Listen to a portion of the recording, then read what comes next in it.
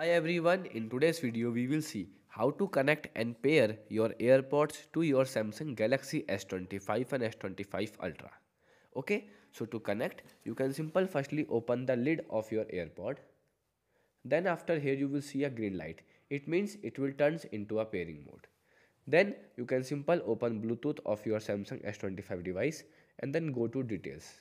Okay, in details you can wait some time it will scanning for nearby AirPod means the nearby device. And then once it will find the device you will see in a available device list. And then tap on the device name. Now it will ask for a pair. Then you can simple click on pair. And then your airpod will be successfully connected to your samsung galaxy s25 and s25 ultra. Okay? So still you are facing some issue. In connection it means your airpod will be connected to a other device. In that case you can simple close the lid of your airpod then again open it and then press three times on the light on the display. Now you will see here the white light appear. It means your airpods will turn into a pairing mode.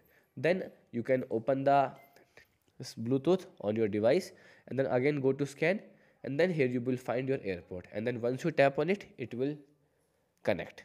Okay? So here is how you can easily connect and pair. Goodbye